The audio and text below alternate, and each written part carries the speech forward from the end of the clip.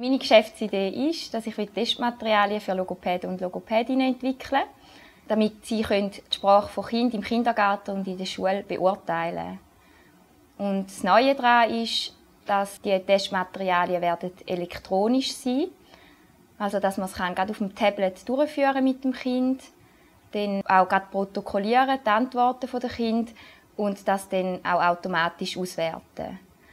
Und das andere ist, dass die Testmaterialien auf Schweizerdeutsch werden sein, weil das die erste Sprache der Kind ist. Auf die Idee bin ich gekommen, weil ich selber Logopädin bin und im Alltag mit dem Kind einfach festgestellt habe, dass die Testmaterialien, die wir brauchen, nicht auf die Kinder zugeschnitten sind. Wir verwenden vor allem Materialien aus Deutschland und die Test-Items und Testwerte sind einfach nicht eins zu eins auf Schweizer Kinder übertragbar. Mich treibt an der Rückenwind, den ich spüre von anderen Logopädinnen und Logopäden, wenn ich mich mit ihnen austausche über eben Testmaterialien und die Situation in der Schweiz und halt auch feststelle, dass sie sich auch wünschen, dass sich die Situation verändert.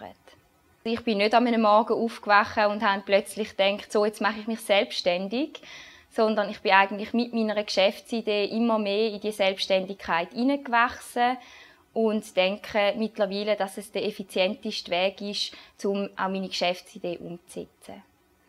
Meine Erfahrungen sind sehr positiv mit dem ZHW-Inkubator. Vor allem dadurch, dass ich professionelles Coaching bekommen habe, dort Fragen auch kritisch diskutiert werden bezüglich meinem Geschäftsmodell. Ich kann die ganze Infrastruktur und das Netzwerk der ZHW nutzen und bin auch im Runway im Kontakt mit anderen Startups und kann mich dort mit ihnen austauschen. Ich denke, die grössten Herausforderungen sind, die Ansprüche und Wünsche von Logopädinnen und Logopäden so zu erfüllen, dass die Umstellung auf mein Testmaterial, das dann auch elektronisch ist, dass die so einfach wie möglich wird sein. Ich glaube eigentlich, dass in jedem und in jeder eine Unternehmerin oder ein Unternehmer steckt, also auch in mir.